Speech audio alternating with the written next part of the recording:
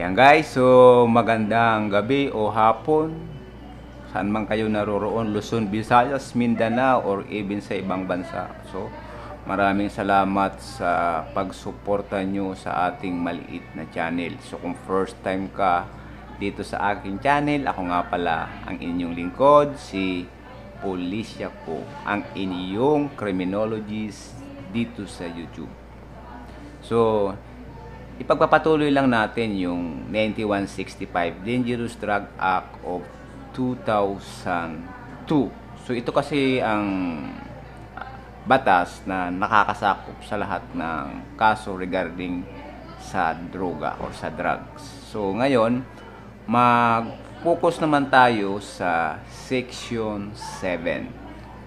RE 9165 Dangerous Drug Act Section 7. So sa mga ang ang sinasabi dito sa Section 7 So kapag ikaw ay empleyado and visitors of den or dive or resorts, ang penalty mo, makinig mga, sa mga empleyado or sa mga mga visitors no, imprison imprisonment of 12 years to 20 years. O tandaan ang penalty ah, 12 hanggang 20. Minimum of 12 years, so maximum of 20 years kapag napatunayan na ikaw ay empleyado on and visitors at kapag i-establish dito ikaw ay pumunta doon sa lugar na alam mo na drugs ang kanilang produkto or kanilang mini-maintain. Ngayon po ah, sa mga empleyado or sa mga nakikunibans na mayroong hindi ito available ah, huwag na kayong umasa na available. Matik hindi ito available. At mayroong fine na minimum of 100,000, maximum of 500,000. So, napakaikli lang, no?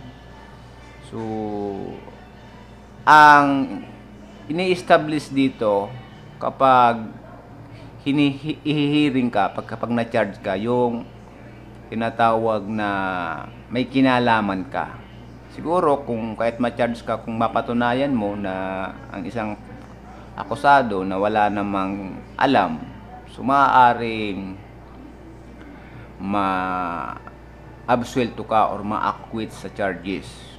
Pero kapag na-establish na alam mo talaga yung areang yon na puro illegal aktibidad drugs or ikaw ay nagbibisita doon so liable ka dito sa section 7 na tinatawag na employees and visitors of din dive on or resorts na mayroong penalty na 12 minimum of 12 years maximum of 20 years. So para ka na rin palang ano dito, ang kaso nito, para ka nang nakapatay. Parang malapit sa homicide, no? Ang penalty.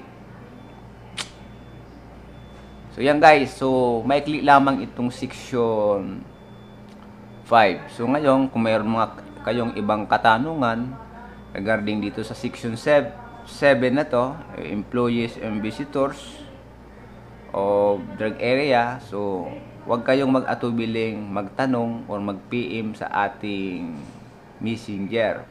Ito na po, pulisya ko. So, hanggang sa muli po at muling nagsasabi, no? At wait.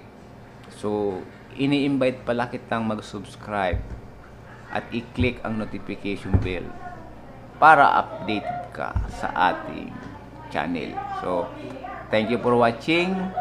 My name is Policia ko, ang iyong criminologist online at at your service.